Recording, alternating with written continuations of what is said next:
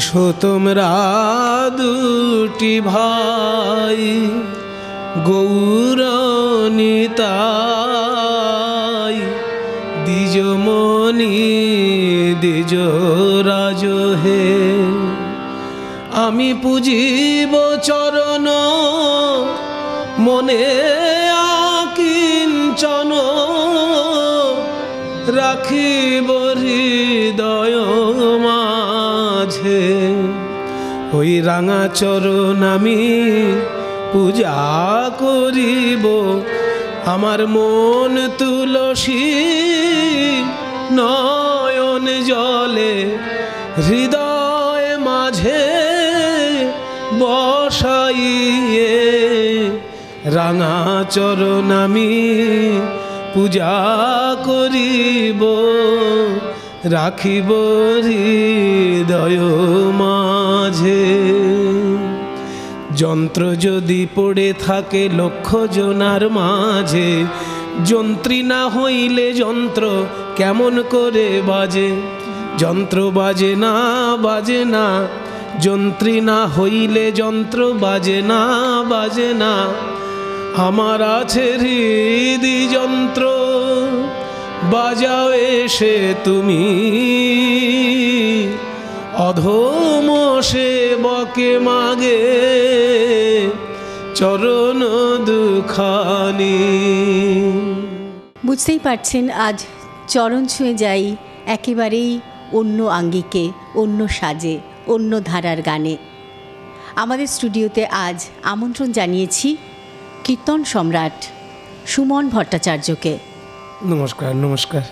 খুব ভালো লাগছে আপনাকে পেয়ে। মানে বিভিন্ন সময় বিভিন্ন আসরে বিভিন্নভাবে পাওয়া কিন্তু আজকে এভাবে হ্যাঁ আপনাদের গুরুদের কথা শোনা এবং আপনার গান শেখার গল্প শোনা। নিশ্চয়ই আমার তো খুবই ভালো লেগেছে যখনই আমি এখান থেকে ফোন পেলাম যে আমি আমার গুরুবর্গকে নিয়ে বলতে পারব যাদের কোলে পিঠে আমি মানুষ হয়েছি তাদের কথা স্মরণ করতে পারব এটা যে কত বড় সৌভাগ্যের বিষয় সেটা চিন্তা করেই আমার বিশেষ করে এখানে আসা।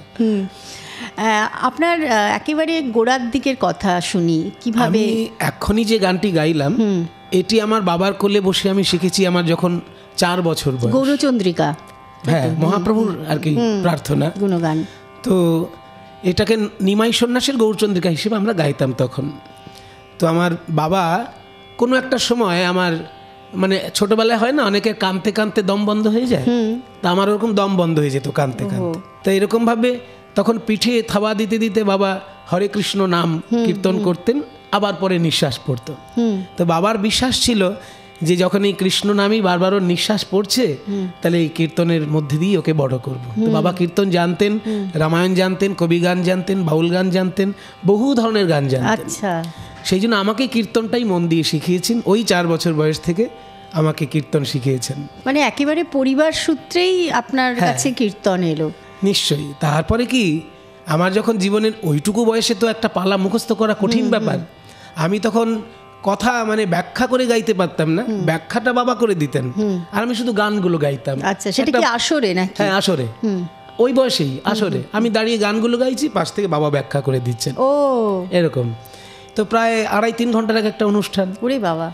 এইবার যখন প্রথম পালাটা বাবা আমায় শেখান বাবা তো যশোরের মানুষ ছিলেন ওই ভাষায় কথা বলতেন যে মনি এই পালাটা যদি গুটা গাতি পারো তাহলে এখন গুটা রসগোল্লা দিবানে মানে গোটা যদি পালাটা গাইতে পারো একটা গোটা রসগোল্লা পাবে। তো সেইটাই আমার ওই রসগোল্লার লোভে তখন আমার না মুখস্থ করতেই হবে আমাকে একটা বড় রসগোল্লা দেবে বাবা।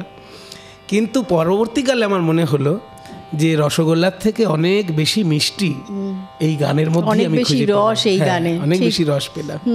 মানে সেই রসটাকে ধারণ করার ক্ষমতা তো সবার থাকে না। ওইটাই ব্যাপার। সেখানেও বোধহয় কোথাও আপনার আরাধ্যের আশীর্বাদ তো রয়েইছে। নিশ্চয়ই একেবারে। গুরুদের আশীর্বাদও রয়েছে। তারপরে ওই ছোটবেলায় আমার না মায়ের সঙ্গে ঘুমাতাম তো। এইবার হতো কি ভোরবেলায় হঠাৎ কীর্তনের আওয়াজ পেতাম পাশেই পাঠবাড়ি আশ্রম। আচ্ছা। মানে যেখানে চৈতন্যদেব এসেছিলেন কলকাতার উপকণ্ঠে বরানগর ওখানে রঘুনাথ উপাধ্যায়কে উপাধ্যায়ের কাছে এসেছিলেন রঘুনাথ উপাধ্যায় শ্রীমৎ ভাগবত শুনিয়েছিলেন মহাপ্রভুকে। আচ্ছা। তিন রাত্রি বাস করেছিলেন মহাপ্রভু ওখানে। তো ওখানে নানা রকম বৈষ্ণব কীর্তন হয় সারা বছর ধরে। তো ওই আওয়াজ যখন কানে আসতো আমার ঘরে থাকতে ভালো লাগতো না। আমার ঘরে থাকা দায়। হ্যাঁ। তো হয়ে যেত কি অর্ধেক রাত্রেই আমি নিজে নিজেই দরজা ছিটকানি খুলে ছিটকিনি খুলে ওইখানে চলে যেতাম। আচ্ছা। এবার বাবা তো খুঁজে পায় না শেষে থানা পুলিশ নানান কিছু করে শেষকালে দেখে ওই কীর্তনের কাছে আমি রয়েছি। এরকম একটা সুরের এমন মোহ সুরের এমন মায়া যে মায়া সত্যি সত্যি মানে কাটিয়ে ওঠা দায় এবং ভাগ্যিস এরকমটা হয়েছিল। সেই কারণেই আজ সুমন ভট্টাচার্যকে আমরা এভাবে পেয়েছি। এবং আপনার সঙ্গে আপনার দাদা এসেছেন। হ্যাঁ দাদা হারমোনিয়াম এবং দোহারে। হ্যাঁ। নমস্কার আপনাকেও। আমরা সেই ছোটবেলা থেকে একসঙ্গে একসঙ্গে। হ্যাঁ আপনার তো বিভিন্ন সময় দেখেছি আপনার পুরো পরিবারটি প্রায় মঞ্চে থাকে হ্যাঁ, তাই তো? হ্যাঁ। আমার দাদার নাম সৌমেন ভট্টাচার্য। সৌমেন ভট্টাচার্য। এবং ওর উপরে আর একটা দাদা যে আছে মেজো তার নাম অনিল ভট্টাচার্য আচ্ছা। বর্দা স্বপন ভট্টাচার্য। আমরা সবাই গান বাজনা জানি। আচ্ছা। তো এই অনিল ভট্টাচার্য যে মেজো ভাই সে কিন্তু প্রায় সদুয়েক কীর্তনের রেকর্ড মানে মিউজিক পরিচালক সে।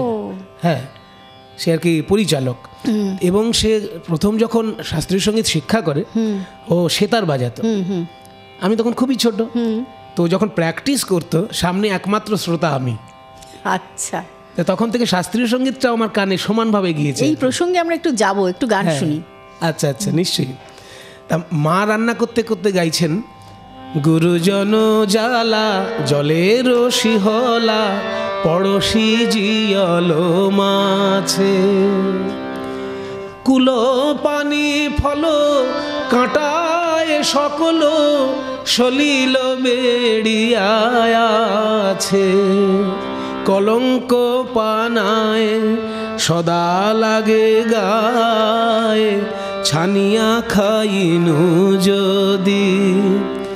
অন্তরে বাহিরে কুট কুট করে, সুখে দুঃখ দিল বিধি। বলি, ভালোবাসার কি এই পরিণাম? তার ভিতরে বাহিরে জ্বালা ভালোবাসার কি এই পরিণাম? অন্তরে বাহিরে কুট কুট করে সুখে দুঃখ দিল বিধি। মা রান্না করতে করতে এই পদ গাইছে। তা আমি বলছি মা তুমি যে পদটা গাইছো এটা কোন লীলার জানো? মা বলছে অত লীলা টিলা বলতে পারব না। ছোটবেলা থেকে শুনেছি মুখস্থ আছে গাইছি। এইরকম আমাদের ঘরের ঘরের পরিবেশটা আর কি। এটা হচ্ছে আক্ষেপ অনুরাগের একটি পদ আর কি। রাধারানী আক্ষেপ করছেন দুঃখ করছেন যে আমার ভালোবাসার কত কষ্ট। আট জনের উপর দুঃখ করেছেন রাধারানী। বলছে কৃষ্ণঞ্চ মুরলিঞ্চ আত্মানঞ্চ সখিং প্রতি দ্বিতীয়াং ধাতরি কন্দর্পে তথা গুরুগণাদেশ কৃষ্ণ ভালো নয়। নাইলে আমাকে এত কষ্ট কেন দেয়? প্রথম কৃষ্ণের প্রতি আক্ষেপ। তারপরে মুরলী। বলে কৃষ্ণ ভালো কিন্তু বাঁশিটাই যত নষ্টের গোড়া মুরলীর প্রতি আক্ষেপ। কৃষ্ণ যে মুরলী যে আত্মা না নিজের প্রতি আক্ষেপ যে আমি যতখানি কষ্ট পাচ্ছি কই এতটা কষ্ট তো বৃন্দাবনে আর কেউ পায় না তাহলে আমিই বোধহয় খারাপ। হ্যাঁ আত্মানঞ্চ সখিং প্রতি সখীদের প্রতি তোরা খারাপ। হ্যাঁ তারপর দুতি যে যোগাযোগ করে দিয়েছে ওই দুতি হচ্ছে যত নষ্টের গোড়া দ্বিতীয়াং ধাতরি তারপর ধাতরি মানে বিধাতা। বিধাতা সব কিছু জানে তবুও যোগাযোগ করিয়েছে ওই নষ্টের গোড়া। ধাতরি কম দর্পে কামদেবীর উপর আক্ষেপ তথা গুরুগণাদিশু গুরুজনের প্রতি। যে ওনারা যদি এত বাধা না দিতেন তাহলে এতটা কষ্ট হতো না আমার। এই যে আট রকমের আক্ষেপ অনুরাগ তার মধ্যে প্রেম প্রতি আক্ষেপের এইটা একটা পদ আর কি। আচ্ছা। মানে মাও ছোট থেকে বোধহয় এই এই পরিবেশেই বড় হয়েছিলেন। হ্যাঁ, সেই কারণেই যখন রান্না করছেন তখন হ্যাঁ। এই পদগুলো। তার রান্নার কষ্টটা গায়ে লাগছে না। মানে অত্যন্ত পরিশ্রম করে মা আমাদের বড় করেছে আমরা শিক্ষার আগ্রহটা আমার কাছ থেকেই পেয়েছি। রান্না করতে করতে উনি আমাদেরকে মানে এক থেকে ওয়ান টু থ্রি ফোর একদম হান্ড্রেড পর্যন্ত মুখস্থ তখনই ধরতেন। কাজেই এই যে মায়ের শিক্ষা বাবার শিক্ষা দাদার শিক্ষা আমার মেজদার কথা বলছিলাম না অনিল ভট্টাচার্য? ও মানে হঠাৎ হঠাৎ এত সুন্দর সুন্দর সুর বানিয়ে দিত গানের উপর চিন্তা করা যায় না। একটা গান দাদা এটা একটু সুর করে দিত। হ্যাঁ। সঙ্গে সঙ্গে বেদনাহারি জয় শ্রী মুরারি নম নম, প্রভু, নম নম। বেদনাহারি সন্ধ্যা সকালে এসো হে গোপাল। সন্ধ্যা সকাল এসো হে গোপাল। হৃদয়াঙ্গিনায় মম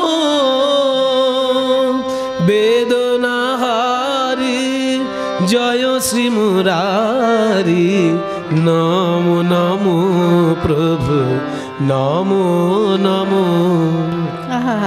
আমাদের সময় হয়েছে একটা ছোট্ট বিজ্ঞাপন বিরতির। আমরা আচ্ছা, বিরতির উপরে। ফিরে এসে আরও কথা আরও গান নিয়ে আচ্ছা আসছি।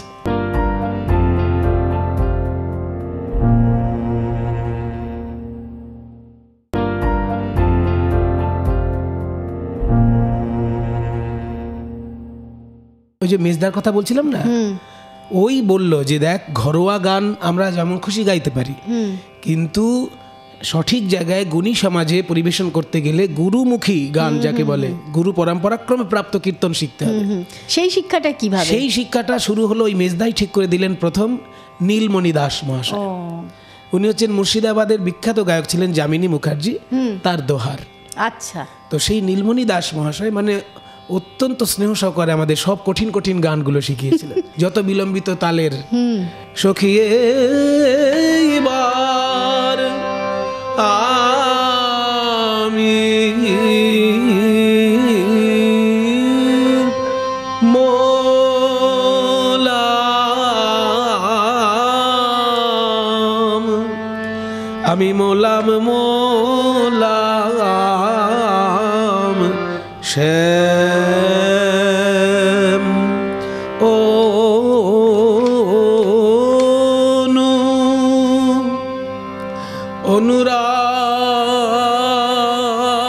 অনুরাগে শ্যাময়নু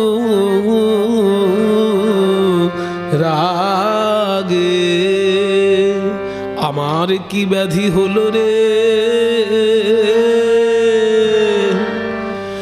অনুরাগ ভুজঙ্গে আমায় দংশন দংশন কইলে গো। ব্রজরমণীর প্রাণ কোমল জেনে অনুরাগ ভুজঙ্গে দংশন কইলে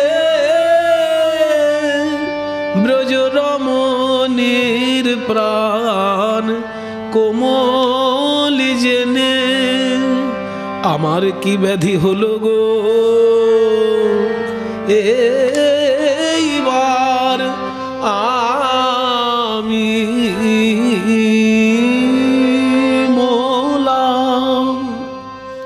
অদ্ভুত অদ্ভুত রূপক রয়েছে হ্যাঁ। পদাবলী সাহিত্যে। আপনি যখন গান প্রথাগতভাবে শুরু করলেন কীর্তন শেখা শ্রদ্ধেয় নীলমণি দাসের কথা বলছিলেন হ্যাঁ, তো তখন তো এই এই বোঝার মানে এই রূপকগুলো বোঝার বোধহয় বয়স হয়নি নাকি? তখন আমি মাধ্যমিকে পড়ার কিছুটা আগে আর কি। আস্তে আস্তে বুঝতে শিখছি। কারণ যেহেতু কীর্তন আমি আসলে গাইছি প্রচুর। কোন বিষয় কোন পদে মানে কোন পদের কোন বিষয় যেহেতু আস্তে আস্তে বুঝতে পারছি সেই জন্য তখন ধীরে ধীরে উপলব্ধিগুলো আসছে। আচ্ছা আচ্ছা। যেমন এই যে পদটাই বলল যে আমি মইনু মইনু শ্যাম অনুরাগে। কিন্তু আখরটা কত সুন্দর যে অনুরাগ ভুজঙ্গে আমায় দংশন আমি বলছিলাম। এই ব্রজ রমণীর প্রাণ কোমল জেনে অনুরাগ ভুজঙ্গে দংশন করিলে। কি সুন্দর কথা সুন্দর কথা। হ্যাঁ আর এই গানটি গেয়ে রাজ্য সংগীত একাডেমিতে আমি কীর্তনের প্রথম স্থান পেয়েছিলাম নাইনটি ফাইভে এই আর কি। হ্যাঁ এইভাবে যে শিক্ষা এর মধ্যে কি মানে পদাবলী সাহিত্য পড়া সেটাও সেটাও ছিল? পদাবলী সাহিত্য এই প্রসঙ্গে যতটুকু পড়তে হয় এবং তখন ওই আমার যখন ক্লাস নাইন আমি বাবাকে বলতাম বাবা কীর্তনের সব টাকা তুমি নাও। কিন্তু আচলে যে পয়সাটা পড়বে টাকাগুলো তখন নোটগুলো তুমি নিয়ে নেবে খুচরো পয়সা সব আমার থাকবে। তো এই খুচরো পয়সাগুলো আমি আমার কাছে রেখে সেইগুলো দিয়ে বই কিনতাম। আমার জীবনের প্রথম গ্রন্থ হচ্ছে উজ্জ্বল নীলমণি নাইনটি ওয়ানে। হ্যাঁ রূপ গোস্বামীর লেখা উজ্জ্বল নীলমণি। সেইখানে প্রথম বুঝতে শিখলাম যে মান প্রেম বৈচিত্র্য আলাদা আলাদা কাকে পর্যায়গুলো হ্যাঁ, রয়েছে। একটু গান শুনি তারপরে আরও কথায় আসি। হ্যাঁ নিশ্চয়ই। এই গানটা যেমন আমি শিখেছিলাম আমার শ্রীখোল বাদকের কাছে। আচ্ছা। খুব বয়স্ক লোক ছিলেন ওনার নাম হচ্ছে সাধন দাস মহাশয়। উনি আমায় শিখিয়েছিলেন। কথাটা হচ্ছে সখী কি বা শুনাইলে শ্যামনা? সই আমার কি বা শোনাইলে শোনাইলে গো।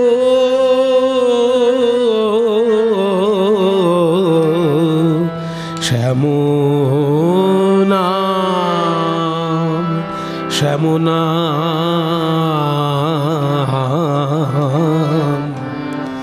শোনাইলে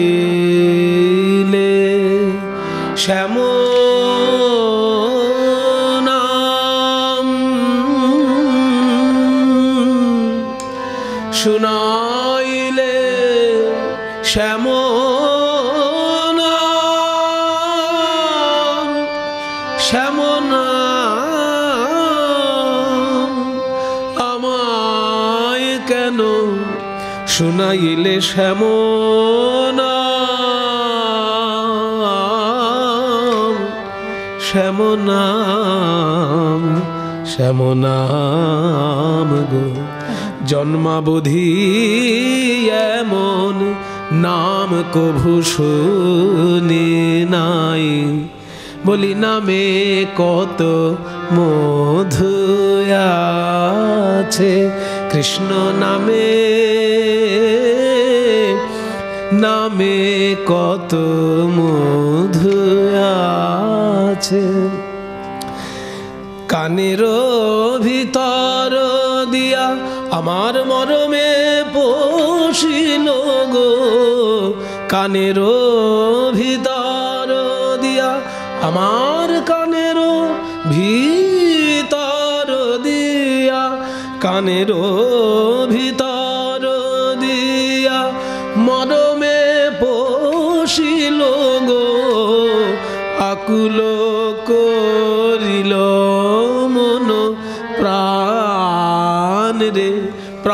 সখী গো আকুল আমার মন প্রাণ হলো আকুল আমার মন প্রাণ হলো আকুল করিল মন প্রাণ রে।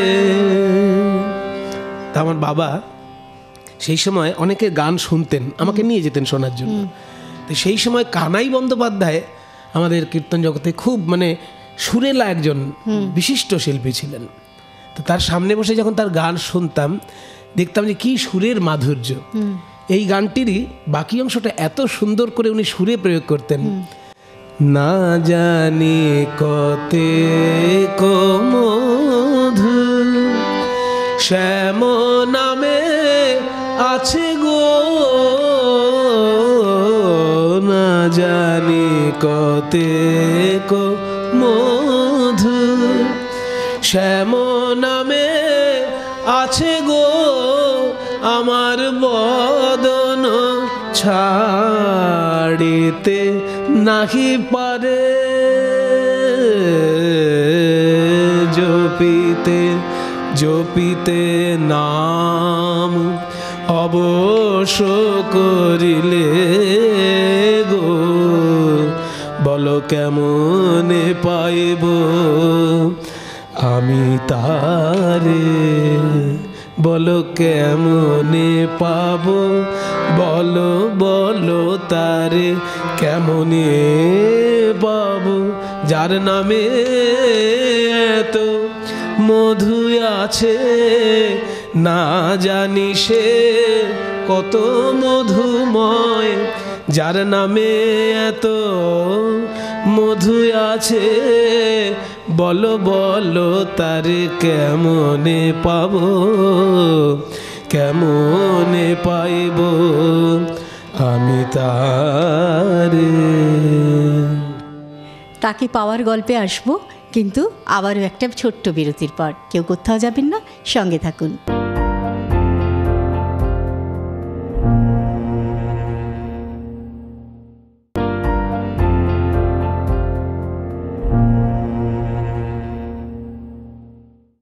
কীর্তনের সঙ্গে জড়িয়ে থাকে আরও অনেক বিষয় শাস্ত্রীয় সংগীত তাছাড়াও থাকে নানাবিধ তাল এবার সেই কথায় আসি দাদা হ্যাঁ। বিভিন্ন সময়ে যখন যখন গান শুনেছি হ্যাঁ। বিশেষ করে ছবি বন্দ্যোপাধ্যায়ের নামটি বারবার করে চলে আসে আমার হ্যাঁ। ছোটবেলা থেকে বড় হওয়ার অনেকটা জুড়ে ছিলেন গীতশ্রী আচ্ছা। ছবি বন্দ্যোপাধ্যায় আচ্ছা, আচ্ছা। এবং তখন উনি যখন বর্ণনা করতেন তার মধ্যে দিয়ে না বুঝতে পারতাম না যে আমাদের যে শিক্ষার মধ্যে যে তালগুলো আসে একেবারে হ্যাঁ। সহজ ছন্দে যে তালগুলো আসে হ্যাঁ, তার থেকে কীর্তনের তালগুলো একটু আলাদা। হ্যাঁ। এই একটু এই এই বিষয়টা একটু যদি বলেন। কীর্তনে তো মানে বইতে যা লেখা আছে যে গরানহাটি কীর্তনে একশো আট রকমের তাল প্রয়োগ হতো। তো এখন আর অতগুলো পাওয়া যায় না। তবে মোটামুটি যে কটা পাওয়া যায় আমরা যেগুলো প্রয়োগ করে থাকি তাও প্রায় খান পঞ্চাশেকের মধ্যে। কিন্তু সেগুলোর সঙ্গে এই তবলার তালের খুব বেশি মানে মিল পাওয়া যায় নেই যেমন আমি উদাহরণ দিচ্ছি এক্ষুনি যে গানটা গাইলাম না জানি কতে কো আমার কানের ভিতর দিয়া। এই গানটি ছোট দশকুশি তাল। হুম। ছোট দশকুশি তালটি কেমন? আমাদের যেমন ওই ধ্রুপদে যেমন একটা তাল আছে না যে আড়া চৌতাল আড়া চৌতালে প্রথমে দুই তারপর চার চার চার চার তিনটে চার প্রথমে দুই। এখানে তালটা হচ্ছে প্রথমে দুটো চার তারপর দুই চার। ও। কিন্তু গান গাইবার বেলায় যেহেতু তৃতীয় তাল থেকে গানটি ধরতে হয় তাই প্রায় আড়া চৌতালেরই মতন হয়ে আচ্ছা। তুমি খেয়াল করো তৃতীয় তাল থেকে গানটি ধরা হয় তাই মানে তালের ছন্দ দেখলে আড়া চৌতালের সঙ্গে মিলে যাবে। না জানি কতে কো মধু কানের ভিতর দিয়া মরমে পোষিল গো। বদন ছাড়িতে নাহি পারে। এই যে ছোট দশকুশি একেবারে হ্যাঁ? আর প্রথমে যে দুটি গান আমি বিলম্বিত আকারে গাইলাম ওই দুটোই হচ্ছে তিওট তাল। আচ্ছা। হ্যাঁ। ওই তিওটের অতি বিলম্বিত রূপ এককালে ছিল সেটা এখন পাওয়া যায় না। কিন্তু মধ্যলয় দ্রুত লয় আর দ্রুতের মধ্যের মাঝখানে আর একটা লয় পাওয়া যায়। ওই যে একেবারেই ধ্রুপদ বাণী থেকে হ্যাঁ। যদি আমরা ধরি মানে শাস্ত্রীয় সঙ্গীতে যেমন একটা তালের তিনটে লয় তেমনি কীর্তনেও। কীর্তন যেহেতু মূলত শাস্ত্রীয় সংগীত এগুলো দেখলে বোঝা মানে। আর কুয়ার বিয়ার এই হ্যাঁ, সমস্ত ছন্দের লয় ছিল। ওগুলো লয়কারির দিকে হ্যাঁ। লয়কারির দিকে। এখানে লয়কারী নেই কিন্তু ছন্দটা পাল্টে আছে, বাজনায়। আচ্ছা যে আচ্ছা। বাজাবে শ্রীখোল যে বাজাবে তাকে সব জানতে হবে। কিন্তু গায়কের অতখানি আর কুয়ার বিয়ার জানার দরকার হয় না। যেহেতু ভাব প্রধান এবার একটা গানের মধ্যে যদি বারবার ছন্দ নিয়ে সে কথার মারপ্যাচ করে তাহলে তো সেখানে ভাবটা প্রকাশ হ্যাঁ, করা সেজন্য গায়কের কাজ হচ্ছে ভাবটাকে প্রধান করে তোলা। এবার বাজিয়ে যেহেতু বাদক তাকে সমস্ত কিছু ছন্দ দেখিয়ে জানতে হবে। যদিও আমরা ব্যাকরণের কথায় খুব বেশি থাকব না হ্যাঁ। গুরুদের কথায় থাকব। একটু গান শুনে নিয়ে আবার নিশ্চয়ই। আমি তিওটের যে আরও দুটো লয় আছে হ্যাঁ। সেটাও দেখিয়ে দিই।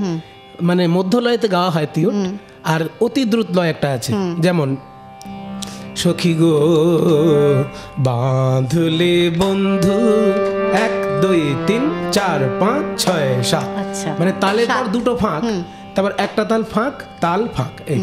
বাঁধলে বন্ধু অধরে মধুমা মা খলরে এ বাঁধলে বন্ধু আচ্ছা। এটা হচ্ছে ত্রিওটের দ্রুত রূপ।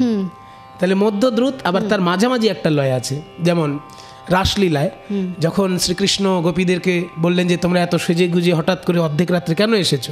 মানে নিজেই বাঁশিতে ডেকেছে আবার অপমান করছে। তখন গোপীরা আর কি ব্যাকুল প্রাণে যে কথাটা বলছে ওই ছন বচন কহল যাব কান ব্রোজ তরুণী গণ সজল নয়ান। ওই কথা যখন বললেন কৃষ্ণ গোপীগণ নয়ন জলে ভাসছেন। এই গানটি শিখেছিলাম রবীন্দ্র ভারতী বিশ্ববিদ্যালয়ের শ্রীখলের অধ্যাপক শ্রী মনোরঞ্জন ভট্টাচার্যের কাছে। রাগ বেহাগ? তাল হচ্ছে ওই মধ্যতে আমাদের বেহাগে কিন্তু কোমল নি লাগবে এবং করিমা না লাগলেই ভালো হয়। হয়ে ছান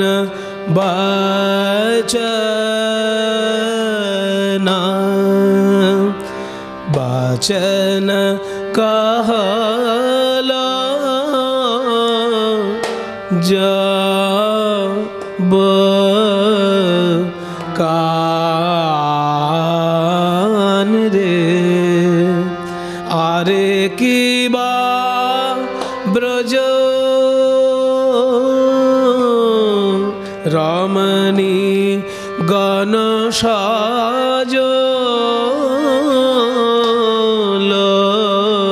নয়ান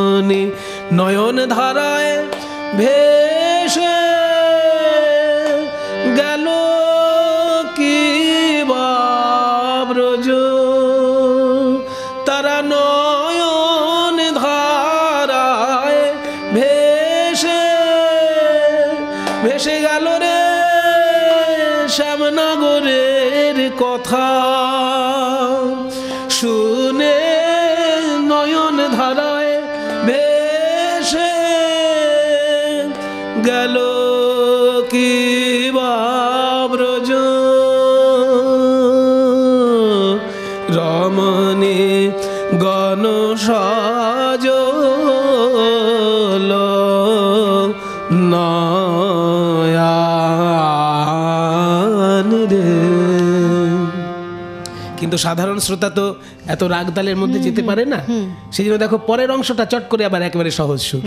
টুটল সবহু কমন রথ করনি অবনত বয়ানে নখলি খুধরনি সুন সুন সুকপট শ্যামর চন্দ কৈসে কহসি তুহু ইহো অনুবন্ধ। কৈসে কহসি তোমার দয়া কি নাই হে?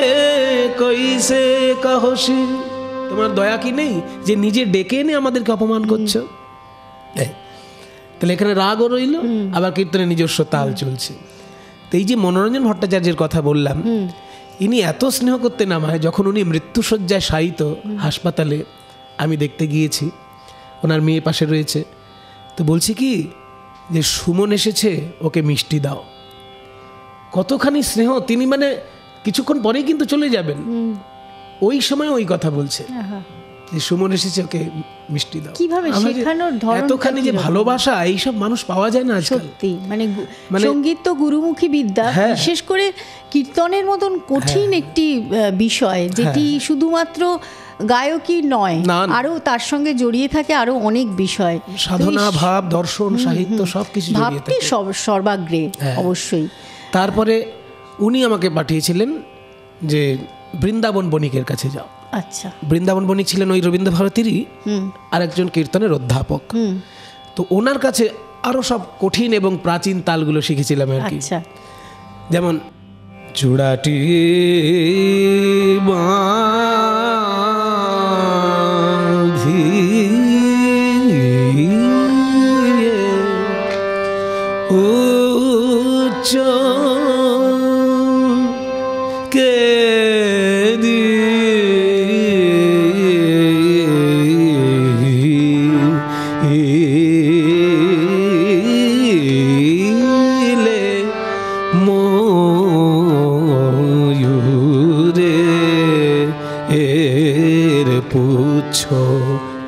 কিন্তু শত শত বছর ধরে মানে গুরু পরম্পরায় শুধু কণ্ঠে রক্ষিত হয়েছে। সেই। সখী গো আমার চূড়াটি বাঁধিয়ে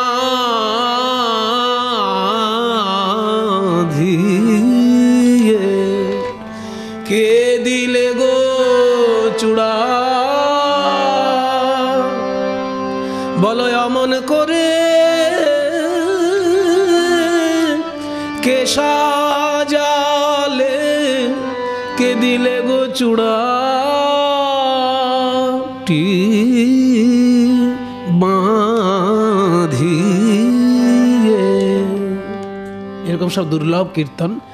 ওনার কাছে শেখার একটা ইকি ছিল উনি কিন্তু রেকর্ডিং করে দিতেন না স্বরলিপিও করে দিতেন না শুধু বলতেন শুনে শুনে শ্রুতিবিদ্যা। হ্যাঁ। আর আমার একটা সৌভাগ্য ছিল আমি স্বরলিপিটা আগে থেকে জানতাম। ওই শুনে শুনে আমি আগে দেখাতাম যে হচ্ছে কি না তারপর স্বরলিপি করে নিতাম। ভাবের সাগরে ভাসতে থাকলে তো চলবে না সময়ের অভাবটি বড্ড বেশি প্রকট হয়ে পড়ে। আমরা আসছি আবারও একটা বিরতির পর সঙ্গে থাকুন।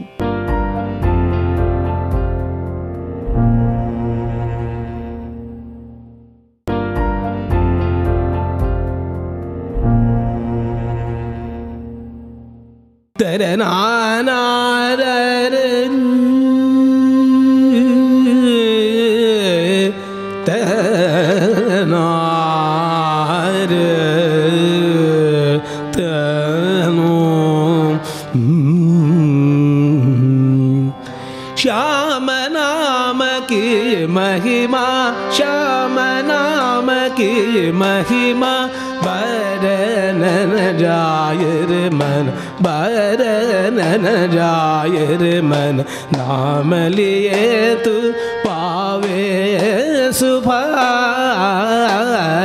श्याम नाम की महिमा धन धन धन वृंदावन धन धन धन नाचत श्याम निषदीन नाचत श्याम निषदीन यशोदा तेरे यशोदा तेरे नंद नंद दुलाल श्याम नाम की महिमा, श्याम नाम की महिमा बरन जाय रे मन, नाम दिए तू पावे।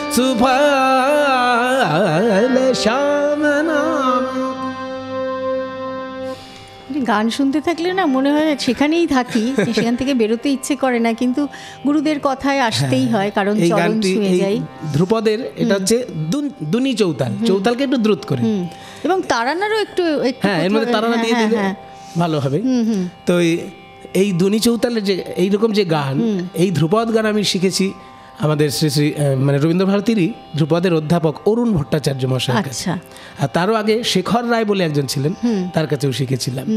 আর খেয়াল আমার শেখা আছে আরও কয়েকজনের কাছে। অজিত সেনগুপ্ত তারপরে তোমার প্রতীপ বন্দ্যোপাধ্যায় উনি হচ্ছেন আহ, আলী খাঁ সাহেবের ছাত্র।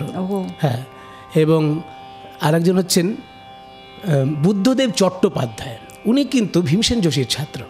ওনাকে সবাই চেনে। না নানা ঘরের তালি। হ্যাঁ কিন্তু রাগ রাগিনীর যে এই যে শ্রুতির প্রয়োগ ওটা ওনার এত সুন্দর এবং কোন রাগে কোন জায়গায় শ্রুতিটি প্রয়োগ হবে এত সুন্দরভাবে উনি দেখাতেন যে সে চিন্তা করা যায় না। যেমন এই যে মিয়ামলের যে করছিলাম ওইখানেই যে শ্রুতির প্রয়োগটা রে না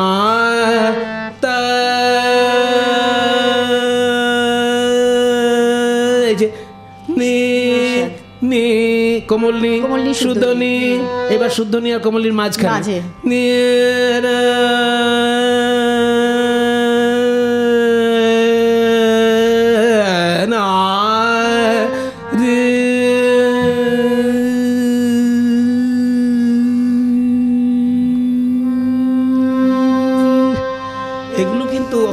জিনিস নয় গুরুর কাছে না গেলে তালিমটা সেভাবে না হলে প্রথাগতভাবে বুদ্ধদেব চট্টোপাধ্যায় উনি আমাকে এইগুলো দেখিয়ে ধন্য করেছেন এই যে পদটি শোনালেন সেটা শুনতে শুনতে আমার মনে হলো যে হ্যাঁ। একটু জিজ্ঞেস করি হ্যাঁ। যে ধরুন বর্ষা ভিসার বা এরকম ধরনের যে আলাদা আলাদা পর্যায়গুলো আছে হ্যাঁ। সেখানে রাগের প্রয়োগ কীভাবে মানে মল্লার কি বর্ষার সঙ্গে জড়িয়ে থাকে নাকি অন্যান্য যে পর্যায় আছে সেখানেও মল্লার এসছে দেখো আমাদের কীর্তনে মল্লার রাগের গানও আছে এবং বর্ষাকালের যদি অভিসার গাইতে হয় সেখানে মল্লার গান একেবারে বাধ্যতামূলক। কিন্তু অন্য রাগও যে গাওয়া যাবে না তা নয় সেখানে অন্যান্য রাগও চলবে। কিন্তু মল্লার রাগ অবশ্যই যেন একটা থাকে। যেমন রাত্রির বারোটার পর যেসব লীলা সেখানে বেহাগ যেন অবশ্যই থাকে। যেমন রাসলীলা রাত্রি বারোটার পর সেখানে বেহাগে গাইতেই হবে। যে জানে না যে বেহাগ কাকে বলে সেও বেহাগ গাইছে। এরকম হচ্ছে ব্যাপার। হ্যাঁ। রবীন্দ্রনাথ বলেছিলেন না যে এক কণ্ঠ বিহারী রাগরাগিনী সহস্র কণ্ঠকে বরণ করিল। ঠিক তাই। এইরকম ব্যাপার। এই শাস্ত্রীয় সঙ্গীতের সাথে কীর্তন বা হ্যাঁ। কীর্তনের সঙ্গে শাস্ত্রীয় সংগীত কতটা জড়িয়ে কীভাবে জড়িয়ে? আমার তো মনে হয় অঙ্গাঙ্গিভাবে জড়িয়ে। কারণ কীর্তন শাস্ত্রীয় সঙ্গীতে তালের লয় তিনটি বিলম্বিত মধ্যদ্রুত এখানেও তাই। শাস্ত্রীয় সঙ্গীতে তারা না আছে কীর্তনেও একটুখানি হলেও তারা না আছে। কীর্তনে যখন আমাদের গৌরচন্দ্রিকা শেষ করে কৃষ্ণলীলা যেতে হয়, রেথে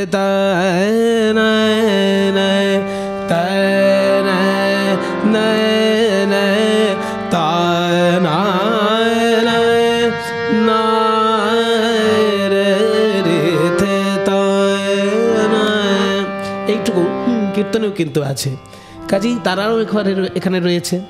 এবার তারপরে রাগরাগিনীর উপরে নানান রাগরাগিনীর সুর। রাগরাগিনীর মধ্যে আমার শুনতে শুনতে যা মনে হয়েছে আমার জ্ঞান খুব সামান্য কিন্তু যেটুকু শুনতে শুনতে মনে হয়েছে বেশ কিছু রাগরাগিনী ধরুন বিভাস হ্যাঁ। হ্যাঁ বা রামকেলি একটু আপনাদের ঘরের চলন বোধহয় আলাদা না? মানে রবীন্দ্রনাথের গানে বিভাস যেভাবে হ্যাঁ, এসেছে সেইভাবে। হ্যাঁ সেইভাবে মানে সেটা কি বিষ্ণুপুর ঘরানা পূর্ব ভারতীয় বলা যায়। আচ্ছা। বিষ্ণুপুরে বেঁধে দিলে ঠিক হবে না। আচ্ছা। পূর্ব ভারতীয় বিভাস এইটা।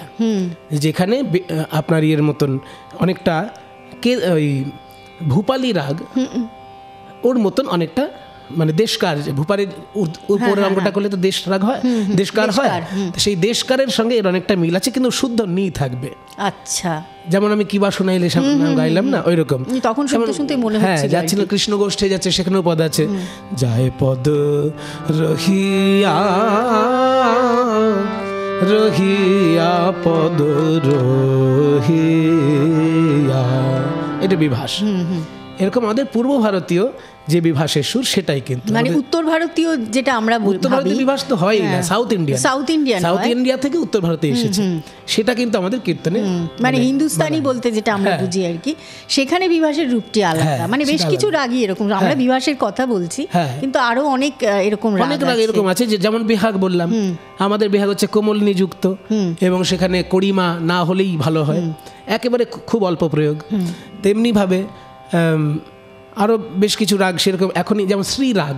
শ্রীরাগের একটা এমন রূপ আমাদের কীর্তনে রয়েছে সেটা কিন্তু প্রাচীন রূপটা। শ্রীরাগের প্রাচীন রূপ হচ্ছে কোমলনি থাকবে এবং কোমল গা থাকবে। এখন তো তার সঙ্গে কোনো মিল নেই। হ্যাঁ, এখন মিল এখন নেই। কড়িমা গা তারপরে কোমল ঋতে চলে তাই না? কিন্তু তখনকার দিনে যে শ্রীরাগ ছিল যে যেটা দেখার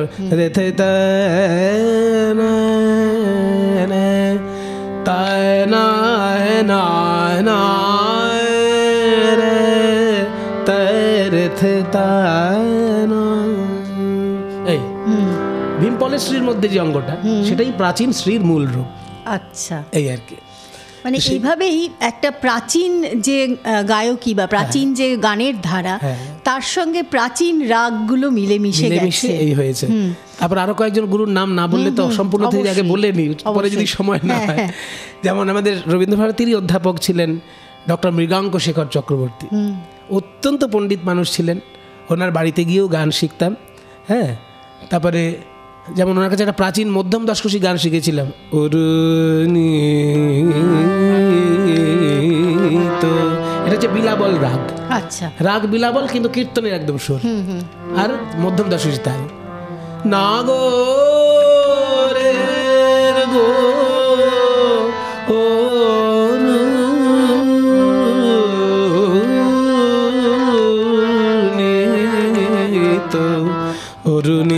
চর। এই গানটি শিখেছিলাম ওনার কাছে। অনেক বিলম্বিত। এই যে বিভিন্ন গুণী- মানুষের কাছে হ্যাঁ। আপনি যাচ্ছেন শিখতে যাচ্ছেন তো তাদের শেখানোর পদ্ধতির মধ্যে কোথায় মানে মিল বা অমিল কি কীরকম পদ্ধতি বলতে কীর্তনের যেমন হাতের মাত্রা রেখে শেখানো কাল তাল ফাঁক দেখিয়ে হাতে তাল দিয়ে কীর্তন শেখানো এটা হচ্ছে কীর্তনের প্রথম আচ্ছা লক্ষণ। আচ্ছা। সেখানে হারমোনিয়ামটা খুব একটা গ্রাহ্য নয়। কারণ হারমোনিয়াম তো আমাদের দেশে আগে ছিলই না। তানপুরা ধরে গান শেখো হাতে তাল দাও। সেই জন্য কীর্তনে সেই প্রাচীন রূপটাই রয়েছে হাতে তাল দিয়ে গাইবে। আচ্ছা। এবং তাল এই যে দিচ্ছ শুধু তাল ফাঁক নয় কীর্তনের অনেক রকম মাত্রা আছে। এই যে তাল সামনে যদি ফাঁক থাকে বিলম্বিত তাল হলে এই তালের সঙ্গে মাত্রা উপরে একটা দেখাতে হবে। সামনে ফাঁকের সঙ্গে মাত্রা উপরে একটা দেখাতে হবে। এগুলো গুরুর দেখানো পথ। হ্যাঁ তেমনি আবার কোলের দিকে ফাঁক আছে। সামনে ফাঁক পেছনে ফাঁক। পেছনের ফাঁকটার নাম হচ্ছে কোল কুশি। এদিকে যে ফাঁক থাকবে তার সঙ্গেও একটা মাত্রা থাকবে। বিলম্বিত হলে পরে। এগুলো জটিল জটিল বিষয়। মানে এগুলো এক দুই তিন চার পাঁচ ছয় সাত আট। আটের ঘরের তাল হলে এরকম মাত্রা হাতে দেখাতে হবে। আটের মধ্যে চার যদি থাকে সেটা আবার ফাঁকটা এরকম সামনে যাবে না ডান দিকে হবে। এক দুই তিন চার। আচ্ছা। এরকম সব মজার ব্যাপার। না একটা জিনিস এগুলো সব গুরুর কাছে এক। এগুলো সব গুরুর কাছে। এক। কিন্তু একটা জিনিস বলুন যে হ্যাঁ। এই যে বিভিন্ন গুরু তারা কীর্তন শেখাচ্ছেন তো তাদের মধ্যে ভাবের কি কোনো পরিবর্তন দেখেছেন নাকি? ভাবের পরিবর্তন বলতে পূর্ববঙ্গীয় যারা মানুষ তাদের ভিতরে একটা ভাব আলাদা করেই থাকে। সেই জন্য তাদের কীর্তনের মধ্যে ভাবটা একটু বেশি অঙ্গের থেকে যায়। আর তারপরে তার পূর্ববঙ্গীয় লোকেরা যখন পশ্চিমবঙ্গে এসে কীর্তন শিখেছেন বড় বড় গুরুর কাছে তাতে তাদের ভাবটা আরও পুষ্ট হয়েছে। আচ্ছা। সেই সব গান শিখতে পেরে আরও যেন বেশি আনন্দ যেমন দ্বিজেন দে বলে একজন ছিলেন তিনি রাধারমণ কর্মকারের দোহার। রাধারমণ কর্মকারও পূর্ববঙ্গীয় দ্বিজেন দেও পূর্ববঙ্গীয়। তো রাধারমণ কর্মকার ছিলেন এমন পূর্ববঙ্গের গায়ক বলে পশ্চিমবঙ্গের কীর্তনিয়ারা বলতো কি যে বাঙালি আবার কি কীর্তন গাইবে? সেই জন্য তাকে পাত্তা দিত তা তিনি পশ্চিমবঙ্গের ঘরে ঘরে গিয়ে এমনভাবে গান শিখলেন যে একদম সব থেকে বড় গায়ক হয়ে গেলেন পশ্চিমবঙ্গের মধ্যে ওদের লোক পূর্ববঙ্গের। তারই দোহার হচ্ছে রাধারমণ এই দ্বিজেন দে মশাই আচ্ছা। তুমি তো একবার গান শেখাতে এসে বললেন যে আমি শেখাবো না। সাত দিন ধরে আমার বাড়িতে থাকলেন খাওয়া দাওয়া করলেন কিচ্ছু গান শেখাচ্ছেন না। মজার ব্যাপার। চুপ করে নিজের মতো গাইছে আমি যেই ঘরে ঢুকছি আপনি গান বন্ধ। আচ্ছা। এরকম ভাবে সাত দিন থাকলেন তারপর বললেন যাওয়ার দিন বলছেন যে আমার পয়সা দিয়ে দাও চলে যায় তো আমি সাত দিনেরই পেমেন্ট তাকে দিয়ে দিলাম। বললাম আপনার গান শিখান বা না শিখান? এই যে আপনি চরণধুলি দিয়েছেন এতেই আমি ধন্য। কিন্তু পরে আবার ফোন করে উনি নিজেই এসেছিলেন শিখিয়েছিলেন প্রচুর গান শিখিয়েছিলেন। আরও শেখার কথা শুনব আরও সুরে ভাসবো কিন্তু আবারও সময় হয়েছে একটা বিরতির বিরতির ওপারে আসছি।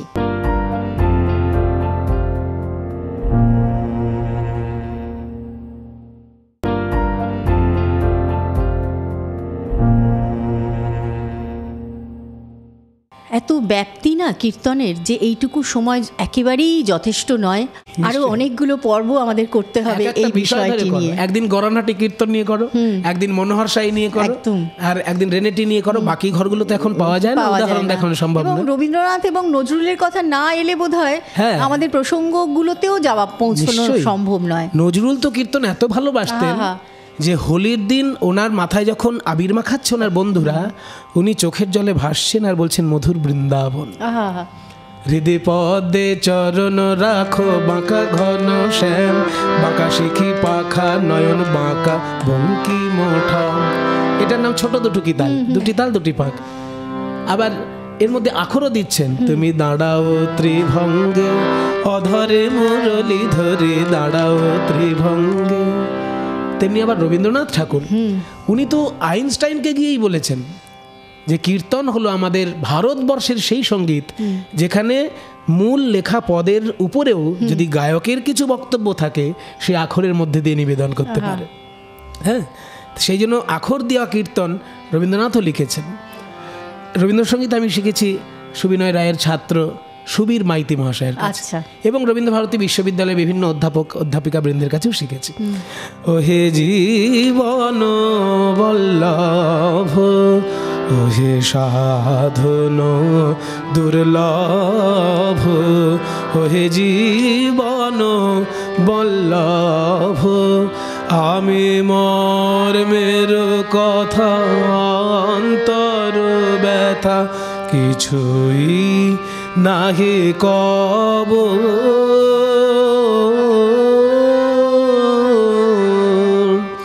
শুধু জীবন মন চরণে দিন বুঝিয়ালহ সব।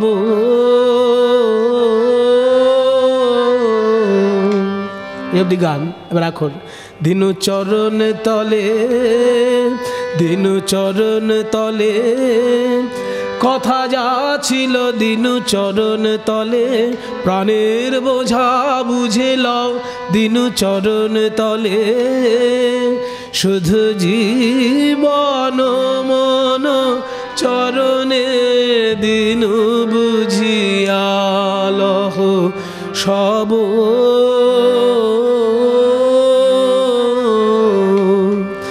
আমি কি আর কব ওহে জীবন বল্লভ। এটুকু সময় না মানে কত কথা জমে থাকল।